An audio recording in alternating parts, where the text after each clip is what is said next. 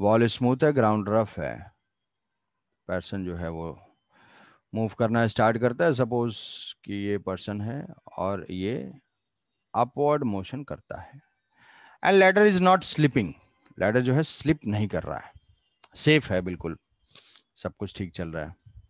ये स्मूथ है, ये वॉल है, वही सब पुरानी कंडीशन है।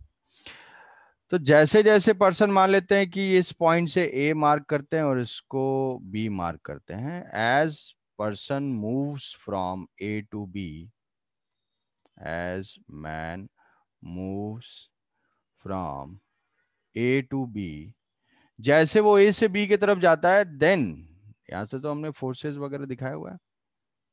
ये दिखाया था एन वन, ये था एफ़ और ये था एन टू। तो एन वन इंक्रीजेज और डिक्रीजेज और remain same N two increases और डिक्रीजेज और रिमेन सेम फ्रिक्शन इंक्रीजेज और डिक्रीजेज और remain same assume no slipping of the ladder ladder जो है वो स्लिप नहीं कर रहा है। तो जैसे जैसे पर्सन ऊपर की तरफ़ जा रहा है तो उसके मोशन की वजह से ये फोर्सेस के ऊपर क्या इफ़ेक्ट है? ये इंक्रीज हो रहे हैं डिक्रीज हो रहे हैं या सेम रह रहे हैं? क्या लग रहा है? हमें कॉन्सेप्चुअली सोच के बताना है इस चीज़ को सो so दैट की क्वेश्चन का हमें आइडिया रहे कि हाँ ऐसा ऐसा होता है इसमें। बताओ अभी। फोर्स है टॉर्क है, सारे क्वेश्चन है तुम्हारे सामने। अगर लिख रहे होगे तो नहीं लिख रहे होगे तो ठीक है। यहाँ पे है।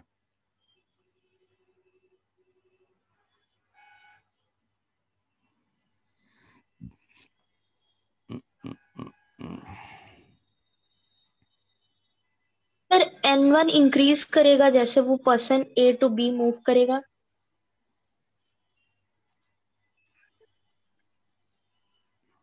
तो कोई भी आंसर ये सब का आंसर देने के लिए तुम्हें इक्वेशंस के थ्रू ही सोचोगे? ऐसे थोड़ी कि कुछ अलग सा अप्लाई करना है। क्वेश्चन के थ्रू ही सोचना है इसको। एन वन इंक्रीजेस और एन टू रिमेन सेम बोलो। अरे क्या कर रहे हो? इंक्रीजेस डिक्रीजेस रिमेन सेम कुछ तो बताओ। एन वन के बारे में बताओ। इंक्रीजेस इंक्रीज करेगा। फ्रिक्शन भी इंक्रीज करेगा। लैडर के गिरने के चांस कहाँ है? अपने एक्सपीरियंस से एक दो बार गिरा होगा या अभी भी गिरते होगे। ए पॉइंट पे गिरने के चांसेस ज़्यादा है या बी पॉइंट पे? नीचे गिरने के चांसेस नहीं लैडर के स्लिप करने के चांसेस ये नहीं कि बी पॉइंट खतरनाक लग रहा है नीचे देखूँगा तो गिर जाऊँगा ऐसे कुछ नहीं। लैडर के एन इंक्रीज करेगा किस पॉइंट पे है? When person is at A और पर्सन इज़ एट बी कौन सा पॉइंट रिस्की है? जहाँ पे थोड़ा संभल के चलना होगा। सर एट बी बी बे आवाज़ जा रही है सुन पा रहे हो? कुछ नहीं बोल रहे हो? हेलो हाँ सर यस सर अरे यार।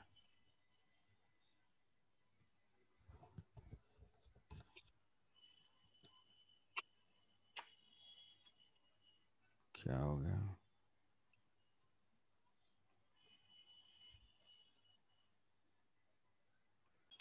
मैन प्लस लैडर का फ्री बॉडी डायग्राम कि ये है लैडर जो है वो एम जी मैन का एम जी यहाँ से नॉर्मल रिएक्शन और ए पॉइंट पे है मैन ठीक है। पहले वाले कंडीशन से हमारा कंपैरिजन नहीं है। हमारा क्या है कि मैन अभी है और मैन मूव कर रहा है। तो N1 जो है, वो देखोगे capital M G N one और F, ये N1 और ये N2 तो N1 is equal to N1 is equal to small M G plus capital M G N one is equal to small M G plus capital M G ठीक है? हाँ। अभी ठीक होगा। N one is equal to small M G plus capital M G ये हमने लिखा। अब मैन अगर मूव करता है तो क्या इस वैल्यू में कोई चेंज होगा? नहीं होगा। मैन यहाँ पे होता है तो भी तो वही होगा। एन वन की वैल्यू क्या है? मैन के मोशन के लिए हम बोल रहे हैं। ये मत सोचना कि सर पिछले वाले क्वेश्चन में तो एमजी था अभी तो ये हो गया तो इंक्रीज हो गया। अरे वो नहीं बात हो रही है। मैन यहाँ पे है और वो वॉक कर रहा है ए से बी देन एन वन की वैल्यू क्या है? तो जो ए पे एन वन की वैल्यू है सेम बी पे भी होगी। यहाँ पहुंचेगा तो यहाँ पे भी एम जी वर्टिकली डाउनवर्ड होगा। One will remain same N one जो है वो सेम रहेगा। चेंज नहीं होगा मैन अगर मूव करेगा। अच्छा तो एन वन सेम रहेगा तो क्या हम बोल सकते हैं कि लिमिटिंग फ्रिक्शन यहाँ का सेम रहने वाला है? Yes mu into N one है एफ़ लिमिटिंग वो भी चेंज नहीं होगा। म्यू इंटू एन वन वो भी एक कांस्टेंट वैल्यू होगी, कुछ हंड्रेड न्यूटन ट्वेंटी न्यूटन होगा। अब जैसे जैसे मैन वॉक करता जाता है नेट फोर्स तो ज़ीरो ही है तो मैन के एम का टॉर्क बढ़ता जा रहा है, या हम बोल सकते हैं कि एंटी क्लॉकवाइज टॉर्क इंक्रीज हो रहा है। क्या चीज़ सोच पा रहे हो? मैन पहले यहाँ पे था तो मैन के एम का टॉर्क ये डिस्टेंस थी, फिर मैन यहाँ पहुँचा तो मैन के एम का टॉर्क ये डिस्टेंस हो गई, फिर मैन यहाँ पहुँचा तो मैन के एम का टॉर्क ये डिस्टेंस हो गई। तो मैन जैसे जैसे पॉइंट से दूर जाता जा रहा है उसका टॉर्क बढ़ता जा रहा है। फोर्स तो कांस्टेंट है बट उसका टॉर्क बढ़ रहा है। टॉर्क बढ़ रहा है किस सेंस में? पहले एंटी क्लॉकवाइज में इस एम का था अब मैन का भी है एंटी क्लॉकवाइज सेंस में। तो नेट टॉर्क ज़ीरो रखने के लिए क्लॉकवाइज टॉर्क इंक्रीज होना चाहिए। क्लॉकवाइज टॉर्क कैसे इंक्रीज होगा? जब एन इंक्रीज होगा। बात समझे? कि as man is moving towards B, then torque of capital mg is increasing. Hence, to balance that torque, n2 must increase. क्योंकि n2 distance तो change हो नहीं सकती। टॉर्क बढ़ाने के दो तरीके हैं। या तो हम परपेंडिकुलर डिस्टेंस या फोर्स ये दो चीज़ें होती हैं। तो अब यहाँ n2 की परपेंडिकुलर डिस्टेंस तो कांस्टेंट ही रहने वाली है। वो वॉल से थोड़ा और एक्स्ट्रा फोर्स मिलना स्टार्ट हो जाएगा। तो n2 विल इंक्रीज और हमें पता है कि N2 two is equal to F मतलब फोर्स भी क्या होगा? Force will also increase wall से फोर्स बढ़ेगा तो फ्रिक्शन इधर से भी जो है फ्रिक्शन इसीलिए जब पर्सन कोई ऊपर जाता है तो लेटर के स्लिप होने के चांसेस ज़्यादा हो जाते हैं। तो कोई जो भी नीचे खड़ा होता है वो वहाँ पे ऐसे सपोर्ट लगा के जस्ट बेस में वैसे अपने पैर से थोड़ा सा प्रेस करके रखता है कि लैडर इस डायरेक्शन में स्लिप करना चाह रहा है। फ्रिक्शन अगर सफिशिएंट नहीं है तो वो अपने फीट से उतना रिएक्शन प्रोवाइड कर सके और उसको इक्विलिब्रियम में रख सके। ठीक है? हाँ। सर जब पर्सन ऊपर मूव करेगा तो फिर N1 तो मतलब N1 is equal to M G cos theta वैसे हम लोग लेके नहीं कर सकते। N one is equal to M G cos theta कैसे हो जाएगा? तो एन वन मतलब एम जी को हम लोग ब्रेक करेंगे कंपोनेंट्स में उसके बाद फिर N1 इज़ इक्वल टू ऐसे लिख सकते हैं। नहीं ब्रेक करना ही क्यों है? ये तो वाई डायरेक्शन में net force along Y zero है तो एन वन ग्राउंड से है और यहाँ से ये तो तुम्हारे दिमाग में आता है ऐसे कि जब वो मूव करता है तो एन वन इंक्रीज कहाँ एन वन इंक्रीज कर? इक्वेशन देखो। M plus M G vertical direction में और कोई फोर्स नहीं है। नहीं करेगा ये। तो N one remain constant N two wall से रिएक्शन बढ़ता है और फ्रिक्शन बढ़ता है। तो जैसे जैसे ऊपर जाता है लिमिटिंग फ्रिक्शन तो कांस्टेंट है बट फ्रिक्शन की रिक्वायरमेंट बढ़ती जा रही है। तो स्लिपिंग के चांसेस कहाँ पे हैं? सबसे ज़्यादा स्लिप करने के चांसेस जस्ट बस जब मैन बिल्कुल ऊपर पहुँच जाएगा। टॉप पे पहुँच जाएगा तो उसमें सबसे ज़्यादा इनटू की वैल्यू होगी, सबसे ज़्यादा फ्रिक्शन की वैल्यू चाहिए होगी। लिमिटिंग कांस्टेंट है और फ्रिक्शन की डिमांड बढ़ती जा रही है। ये मान लो 100 न्यूटन है। 100 न्यूटन पहले क्या था? जब वो नीचे था तो फ्रिक्शन की रिक्वायरमेंट जो है 50 थी 50 से 60 हो रही है 60 से 70 हो रही है। मतलब अवेलेबिलिटी सेम है डिमांड हाई होती जा रही है तो स्लिप करने के चांसेस किधर होंगे? स्लिप करने के चांसेस टॉप पे होंगे। ठीक है? बात आ गई समझ में?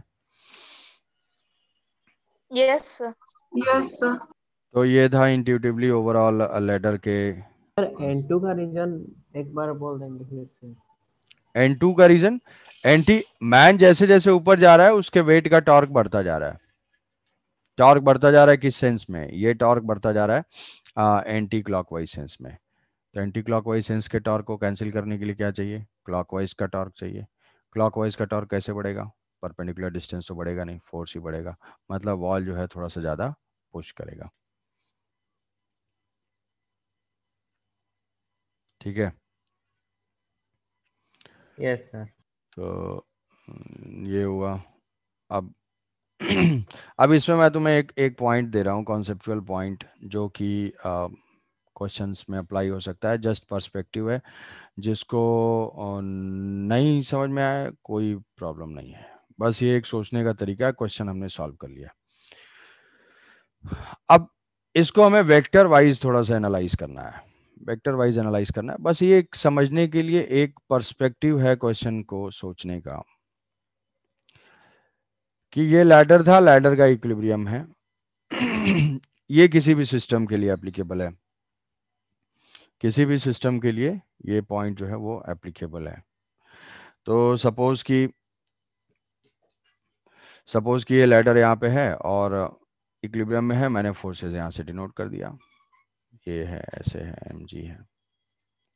ठीक है, ये इससे क्वेश्चन नहीं सॉल्व होगा। ये एक पर्सपेक्टिव है, सोचने का तरीका है। बहुत सारे प्रॉब्लम में यूज़ हो सकता है, वो तुम्हारे क्रिएटिविटी के ऊपर है।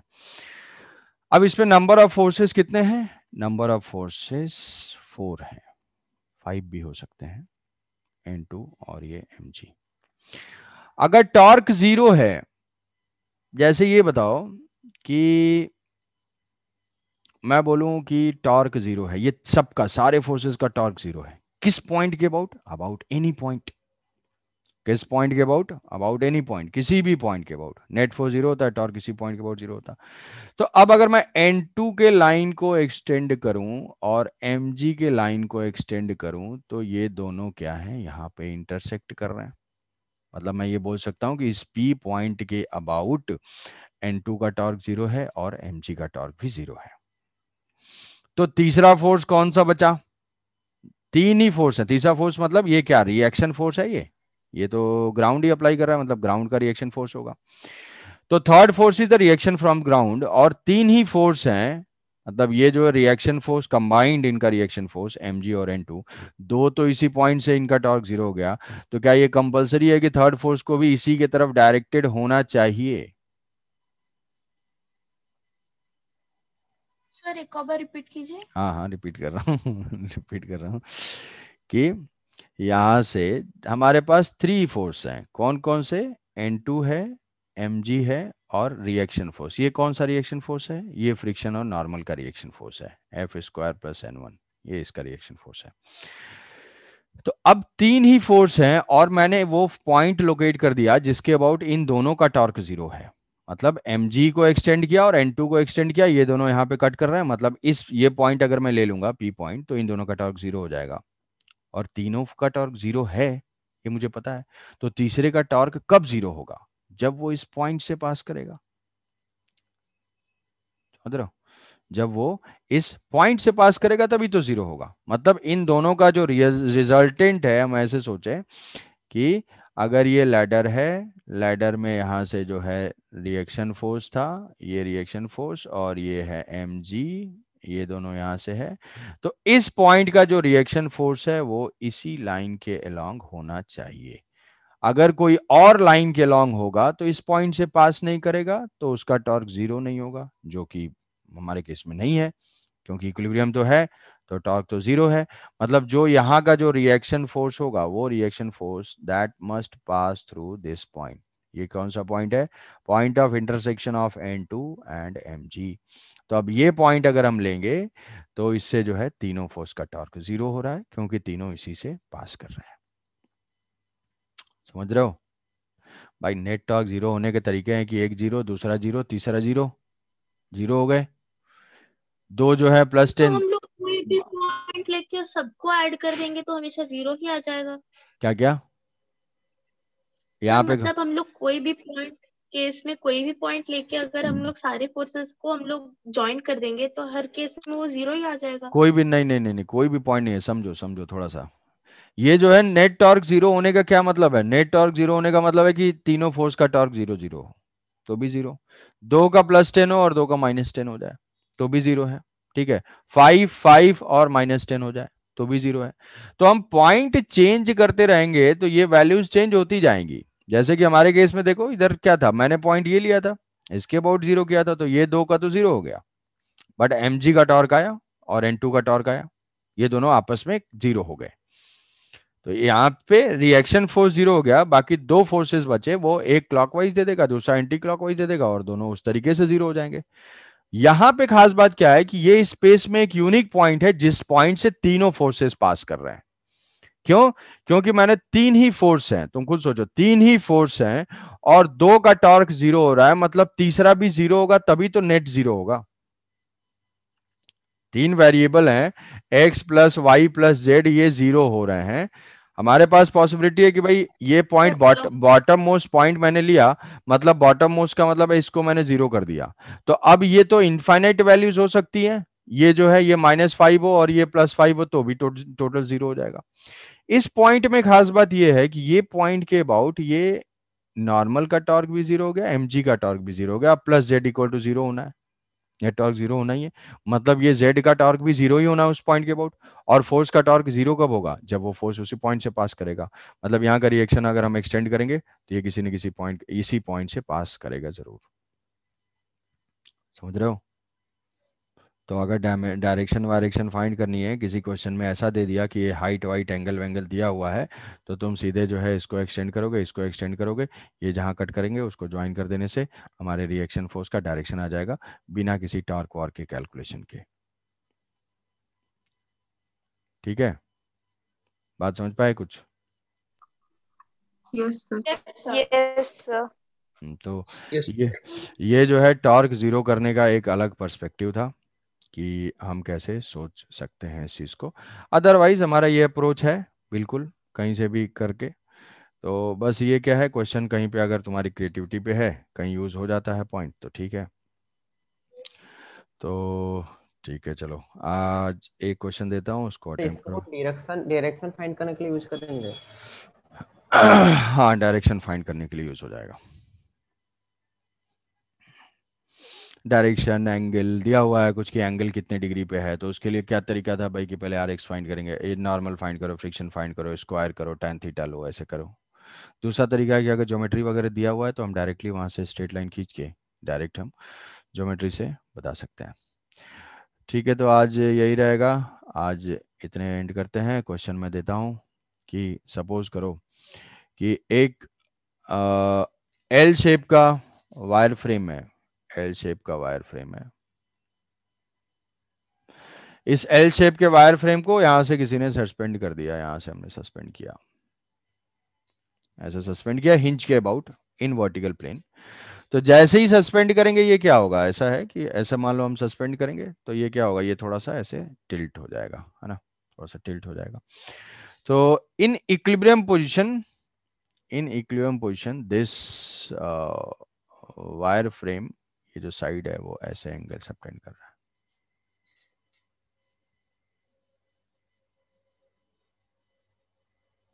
This wire frame makes an angle theta with vertical. इसका मास एम एल और इसका मास भी M L so find angle theta in equilibrium position मतलब वो जब इक्विलिब्रियम में रहता है तब मतलब वो एंगल बनाता है। यस yes, तो मतलब ठीक है। एल एल शेप का फ्रेम था हमने उसको सस्पेंड करके ऐसे छोड़ दिया तो फाइनली वो ऐसे ऑसिलेट ऑसिलेट करके ऐसे इक्विलिब्रियम में आ जाएगा। Then what is the angle made by this side ये साइड जो है वर्टिकल साइड इस वर्टिकल के साथ कितना एंगल सब्टेंड कर रहा है उसको फाइंड करना है। ठीक है? क्लियर